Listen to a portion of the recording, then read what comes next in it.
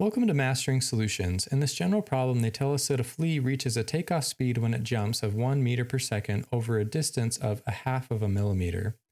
For part A, they want us to know what the flea's acceleration during the jump phase is. Let's start by making a list of the variables that we're given. And so they tell us that the final velocity, or the speed that it reaches at the end of the jump, is 1 meter per second.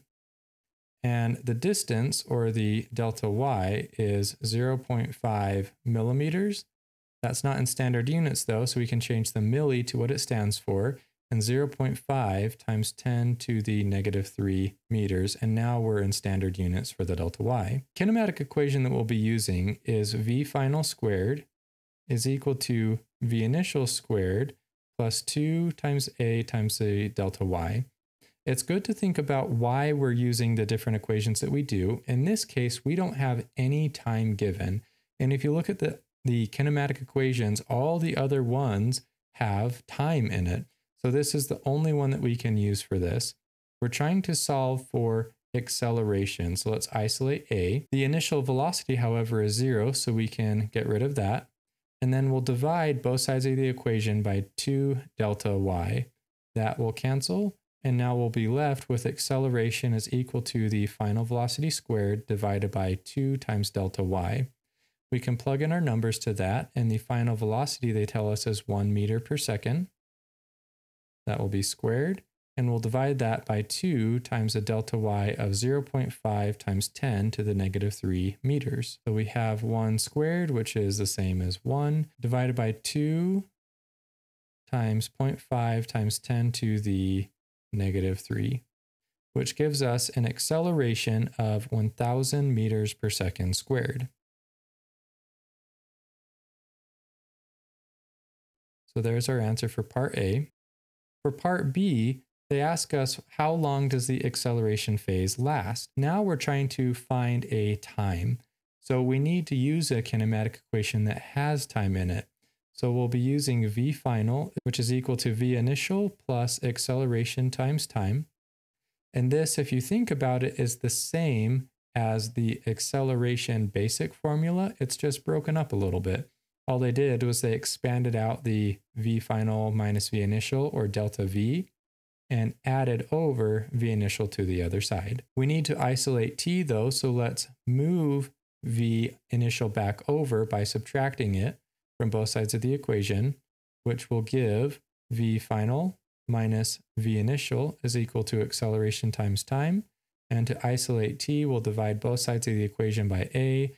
And so we have time is equal to v final minus v initial over acceleration. The v initial, though, we already talked about is zero, so that can go away again. So all we're left with is time is equal to v final divided by the acceleration. So time will be equal to the final velocity we said is 1 meter per second divided by the acceleration that we found as 1000 meters per second squared. And when we have meters per second divided by meters per second squared, what it is is two fractions divided, which is the same thing as multiplying by the reciprocal, of course. So that is the same thing as meters over second times seconds squared over meters. Now the meters will cancel, the seconds will cancel, and one of the seconds up here will cancel, leaving us with seconds over one, which is the standard units for time. And so it's a double check that we did our math correctly. So one divided by a thousand gives us 0.001 or 1,000. So 0.001 seconds is how long the acceleration phase lasts. And then for the last part, part C, they say if the flea jumps straight up, how high will it go? And we're going to ignore air resistance for the problem where, like they say, it's true in reality, air resistance does play a large role, so it won't actually get this high. This is just the theoretical height if it um, air resistance obviously isn't a factor. So for part C, we're going to use the equation that we've been using already. V final squared is equal to V initial squared plus 2 times the acceleration times delta y. And in this case, what we're trying to solve for is the delta y. How high did it go?